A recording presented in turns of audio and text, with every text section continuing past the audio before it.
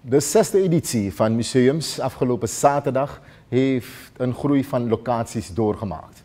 De officiële opening was in Villa Sapacara. Dit jaar hebben 16 musea hun medewerking verleend aan dit evenement.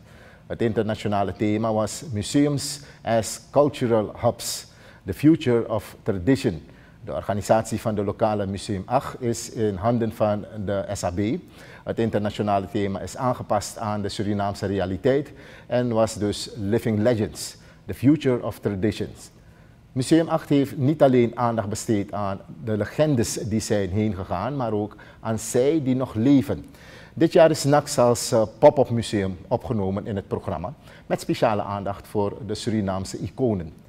Die iconen Nelly Leerdam, de 93-jarige dirigent van het vrouwenkoor Maranata, en president Desiree Bouterse hebben ook een bijdrage geleverd aan deze editie van de Museum 8.